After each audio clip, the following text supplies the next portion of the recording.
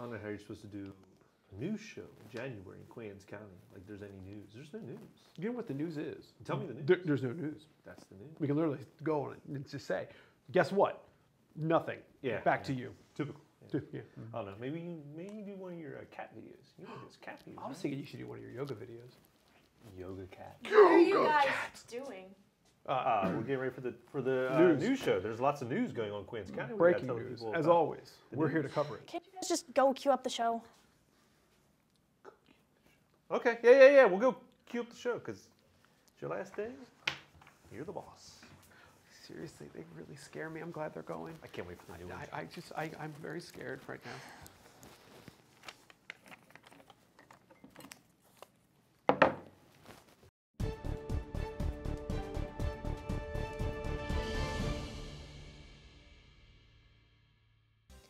Good afternoon, Queen Anne's County. I'm Casey, And I'm Hannah. and we're your hosts for the first episode of Get Informed with the Interns. Today's forecast calls for sunny skies and a high of 75. And tomorrow calls for 10 inches of snow. Well, that's Maryland for you. Now that we have the weather covered, today we have a very intelligent, amazing, incredible, fascinating special guest joining us. You probably don't know who he is, so let me introduce him. Let's give a warm welcome to Bryce Groove. It's it's Bruce. You're supposed to, when you're doing the intro, you look at the script. You have to, like, it's from the heart. You're not reading. Uh, thank you for that great introduction, ladies. Welcome, Bruce. Uh, we've heard you've been experiencing some low ratings recently. Why do you think that may be happening? Low ratings. I, mean, I, I wouldn't say they're low ratings. I mean, they're probably the same as they've always been. I, don't- I don't know. You know, there, there's no way to, to check the ratings on, on, on Channel 7. You mean there's more ways to watch than just Channel 7? Well, yeah, we have Channel 507. That's the high def channel. Makes me look pretty. I think your problem, Bre- Bruce, is that this generation doesn't watch TV.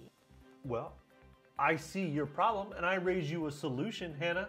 We have a Facebook page. Sorry to break it to you, but this generation doesn't use Facebook either. Yeah, if you want better ratings, you're gonna have to step up your game.